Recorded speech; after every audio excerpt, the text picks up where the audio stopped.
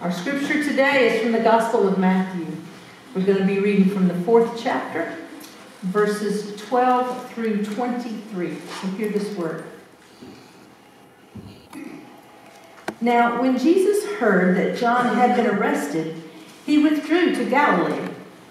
He left Nazareth and made his home in Capernaum by the sea, in the territory of Zebulun and Naphtali so that what had been spoken through the prophet Isaiah might be fulfilled.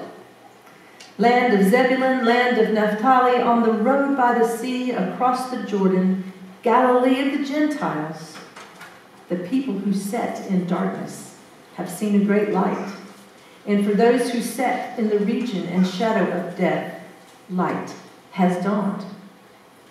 From that time, Jesus began to proclaim, Repent, for the kingdom of heaven has come near. As he walked by the Sea of Galilee, he saw two brothers, Simon, who is called Peter, and Andrew, his brother, casting a net into the sea, for they were fishermen. And he said to them, Follow me, and I will make you fish for people. Immediately they left their nets and followed him. As he went from there, he saw two other brothers, James, son of Zebedee, and his brother John, in a boat with their father Zebedee, mending their nets. And he called them. Immediately, they left the boat and their father and followed him. Jesus went throughout Galilee, teaching in their synagogues and proclaiming the good news of the kingdom and curing every disease and every sickness among the people. This is the word of God for all of us, the people of God. Thanks be to God. I've got a grill in my garage, and for the last two years, I have been looking at this grill. Like every time I get in the car, I look at it because it takes up so much space, and I think, what am I going to do with you? Uh, this is a, a wedding gift, and it's really hard to throw away a wedding gift. Uh, but this is a wedding gift, and when we first got this grill, I used to love cooking on it. I used to love cooking hamburgers, broths. I used to love, I love cooking broths on the grill. But then a couple years ago, I quit eating meat. And let me tell you, you just you just can't grill a pinto okay? Uh, I've, I've thought about, you know, some people even suggest, like, I've thought of maybe cutting a zucchini long ways, some olive oil, some salt and pepper, and putting that in the grill. Uh, that would be pretty good, I guess. Uh, I thought of maybe doing like a portobello mushroom and, and turning that into a burger, like a portobello mushroom burger. Some of you look like you're about to gag. Um, so anyway, after, after, the first summer, said, you should do a cauliflower burger. So that's a cauliflower, turn it into a burger. I said, I can't, I can't even do that. Uh, but, you know, is, is, you know, grilling vegetables really worth, you know, the grill, the space, and the charcoal, and the lighter? Like, am I going to take it out and do all the whole thing just for, you know, grilled zucchini? Like, am I going to do that? Mean, I don't know. So every day I go by and I look at it and think, what am I going to do with you? This is just sitting there, taking up space. I haven't used it in years. And so there it is.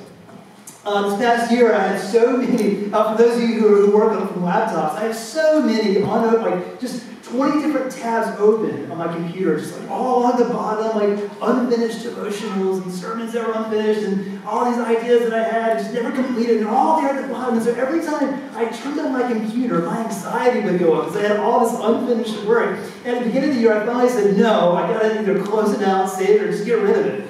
And just to kind of clear the space, to clear my head, to you know, make sure my anxiety was lower. Um, today's passage, here at the end especially, is about the letting go of things. Uh, you may have missed it because it happened so quickly. I mean, it happened in like two verses, but Christ called out to the disciples and said, hey, uh, I'm calling you to follow me. Come on, let's go. And they, there's no fanfare. There's no debate. There's no like, James and John ever said, should we make a to-do list? Christ said, follow me. He didn't mean follow him for a day or for a week. He meant follow me for the rest of your life. And so what they did, James and John and, and Peter and Simon and Peter and Andrew later, is when Christ called them, they just dropped their nets and they left. The nets were literal, but it's also metaphorical. The nets was their trade. The nets is how they made their living. It was the thing they trained for. It was the family business. I mean, the scripture says that he left his father. He was leaving the family. He was dropping his career in a moment, just in a moment, happened so quickly. It makes me think that maybe, you know, for years before, maybe God was stirring up something in their heart. Maybe there was something unsatisfied Maybe they knew they were called to more and just couldn't figure out what, what it was. Maybe they knew that God was pushing them to do something else, but they just didn't know what it was. And they were just waiting around for that opportunity to come walking down the beach. And then when Christ said, Come follow me, they knew this is it. This is the thing that we've been waiting for our whole lives. This is that moment. I wonder if anyone here has something stirring inside of them that you've known for a while, that there's something, some new direction you're supposed to go in, that there's something new you're supposed to add to your life, but you just can't quite put your finger on it. And you're just sort of waiting, just sort of waiting for that moment. Christ, when he calls someone, he, he's actually very stark about it. He's, you know, there's this one guy, he went to him and he said, uh, Jesus, I want to follow you, I'm ready to do this. And Jesus said, okay, great, sell everything you have and give it to the poor. Seems pretty extreme, but the reason why he said that is because that was the thing, that was his net. That was the thing that was entangling him, that was holding him back. He said, if you can't let that go, then money, you'll never be able to follow me. There's this one guy who said, I, I want to follow you, but hold on, my father just passed. Let me bury him real quick. Just give me a couple days to do that. And Jesus said, no, no, no, no. Let the dead bury the dead. That's, that's pretty harsh. There's another instance where a guy wanted to follow Christ, and he, he didn't want to leave his family, though. And, and Christ said, No, you got to leave your father and your mother, and when you follow me, it might create contention in your own family. Are you ready for that? So every time Christ calls someone, he bids you to let go, to let go of something in your life. You know, nets by their very nature are things that entangle. they entangle. Are they entangling you? Maybe the net served a good purpose in your life once before. Maybe, maybe it was your trade. Maybe it was your living. Maybe it served a great purpose, but maybe now it's time to let it go. Um, the Christian ethicist, uh, Stanley Hauerwas, probably one of the great ethicists of our last century, uh, he was talking about our modern society. He was critiquing it, and here's what he said. He said that we are becoming a quivering mass of availability. A quivering mass of availability. What he means by that is you know, technology has sort of made it possible for us to be available to everyone 24 7. Jobs, uh, many of you work still, and, and, many of your jobs, they expect you to be on call 24 7. You, get a text, you get a Facebook message. People will get offended if you don't answer that right away. You're always on. You're never off. You're always available. You're always plugged in. And he goes on to say, and we many of us know this already, that when you're always available, you're never available. So maybe the net you need to let go is just all the busyness you have. Maybe you need to unplug. Maybe you need to let go and have more time for whatever. Now, this is why I take a, a Sabbath every Monday. It's not because I'm tired of you or anything like that. It's because I need time for my soul to rest. Uh, if I'm always available, then I'm never available. Um, many of you have learned as well that you can't pour anything out of an empty cup. You ever heard that expression? You can't pour anything out of an empty cup. And so maybe letting go of some time could be a way for you of refilling your cup. But then you say, oh, Pastor Russ, but you don't understand. I'm like really good at multitasking. I can oh, I can juggle three over balls at once. Like I can do that. Well, that's good. But the last two words of that statement should be for now. For now. Because eventually all of us will have an empty cup if we don't take care of the cup that we have. There is this uh, Greek philosopher called this, uh, excuse me. Uh, he was uh, this early Greek thinker who believed, and he had a lot of, he was the founder of this thing called cynicism. And it sounds really negative, but what it really was was this idea that uh, fame and power and money are not the secrets of happiness. All those things really, you know, lead to being unhappy. He said. Uh, he said that you know, being virtuous and being honest, those are the things that lead to happiness. And so here's what he did. He simplified his entire life. He just stripped his life down and everything, and he ended up living in a wine vat in Greece. Now, some of you are like, well, not that. That's my retirement plan. That's what I want to. Do is live in a wine vat in Greece. Uh, but he did that, and when he did, he began writing. He began philosophizing about how we need to separate ourselves from all the entanglements of the world. And you see a streak of cynicism running through the gospel. Every time Christ spoke to a Pharisee or any religious leader, anyone of authority, it is, he was exasperated. He was like, oh, I've seen enough of this. I know how this plays out. You are, you are entangled to the old ways. You think the law will save you. You think strict rules will save you. But I'm telling you, the new way is coming. The new way is here. And I'm trying to free you from all of that. The Apostle Paul, very similar message. In fact, he was very frustrated at points because he was trying to bring in the Gentiles, that is all us, into the faith. And he, was, he said, you know, Christ freed us, so we're free from the law. And he, he used some very stark, very angry language sometimes to describe this frustration. Uh, there is this one part, know, Paul, he was not very tactful. In fact, there's, there's one part, there was this guy who was about to have a procedure, this, of, and uh, it reminds me of this commercial out there that's on TV right now. cracks me up every time. It's an AT&T commercial. Maybe you've seen it. The tagline is, just okay is not okay. I mean, yeah, it's so funny. Okay, so there's one, there's one commercial. This guy's in a hospital room, and he's, he's about to have surgery. He's laying on a hospital bed. It cracks me up because I've been on a lot of hospital beds. And especially here, like, all the surgeons have this impeccable bed manners. And, but uh, he asked the nurse, he's like, hey, have you heard about my surgeon before? And she goes, yeah, he's all right.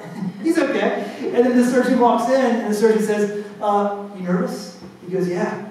The surgeon says, Me too. And then he shrugs his shoulders and says, We'll figure it out. and he walks out of the room. It's funny. So that's terrible bad manners. Paul, he's so frustrated with these people. They're about to be circumcised, these Gentiles. Uh, they believe that they had to become Jewish before they could be a Christian. And Paul said, No, no, no, no, no, no. I freed you from, Christ freed you from all of this. And I'm telling you, you don't got to do this. And he became so, if there was one verse Paul could take back, it would be this one. He said, I hope the knife slips during the procedure. Oh, oh, oh, Paul, why would you say that? But he understood what Christ was saying to the people on the beach that day. You can't be a fisherman and a fisher of men. You ever notice what a bad pun that was? Just a terrible pun. A fisher of men. I'm sure you've heard that phrase, fisher of men. They turn their lives around a bad pun. It would be like uh, Christ going to a courtroom, looking at a lawyer and saying, put down your briefcase uh, because now you're going to defend God. Or he goes into a restaurant and he goes into a kitchen and says, put down your big puffy hat, chef, because now you're going to cook up some good news. And you're going to serve it on a platter of the Holy Spirit and you're going to put some Jesus sauce on it. It's a bad pun. It was terrible. Like, I'm sure there was someone on the beach that day who was like, wow, is that really? Did you just say that? Yeah, it's not really, not really very fun. But they dropped their whole lives. They dropped everything, their career, their, they dropped it all for this guy on the beach with the pun. And so I implore you today to think about the things that you need to let go of. And if after today's sermon you say to yourself, you know what, it is time to clean out that garage, maybe get rid of that grill or that room with all the clutter and the, the closet that's you know just really cluttered, maybe I, maybe I can do that. But, uh, maybe so, but I think God was calling you to let go of a little more than that. Uh, Paul, in one of his writings, he has a long list of sins that people need to let go of, and, and there are a few in particular that I think really pertain to our predominantly middle class Monkey Junction area here. And one of them is this one of them is envy. Ever feel like you can't celebrate the good fortune of someone else because everyone in your mind is a rival? You ever feel like you can't scroll through Facebook because you just you can't handle uh, seeing the success of other people? You ever feel like you can't talk to friends and be happy for them when something good happens to them over a cup of coffee? You just, oh yeah, it's good for you, it's good, it's good. You just are filled with envy all the time. Everything's a competition. Paul says impurity.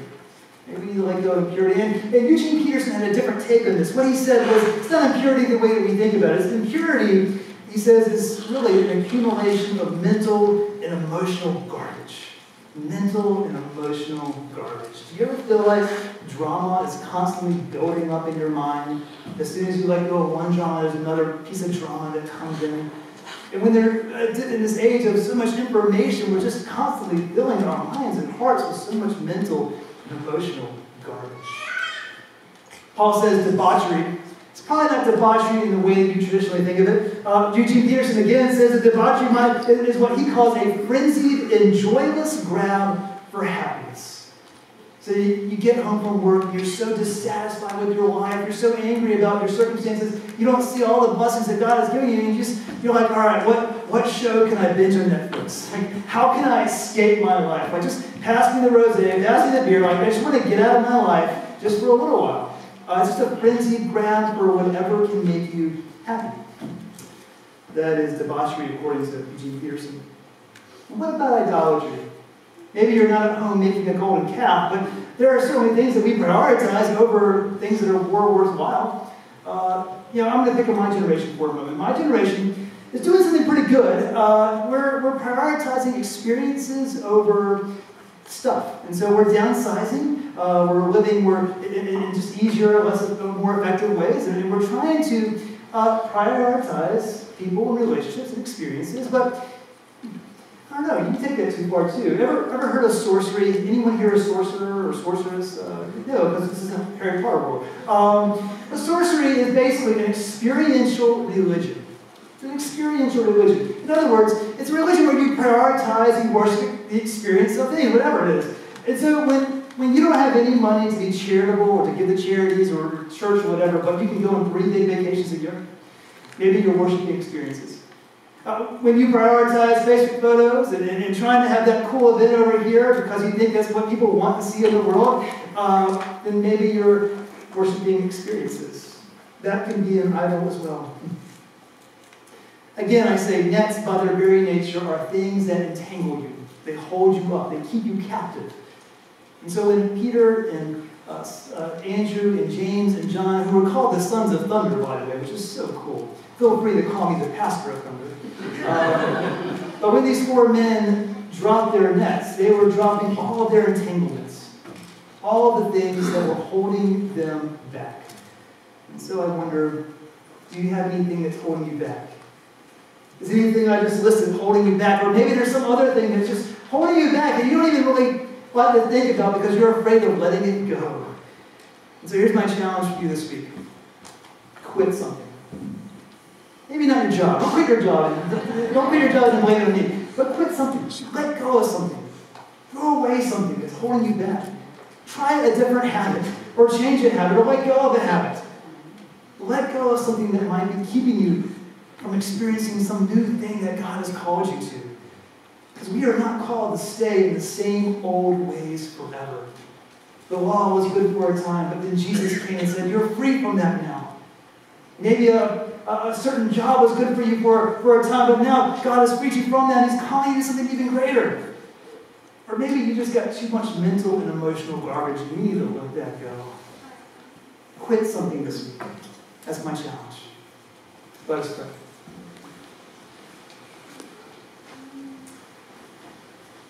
Where we are guilty at times of holding on to things that are no longer valuable. We're guilty at times for not being willing to change, for getting too comfortable in the old ways of living, and not being able to trust that you have a new way prepared and that you will take care of us. So, Lord, help us to be a people who trust you and who believe that if we are ready to let go of our nets, you will call us to something greater. We pray these things in your name. Amen.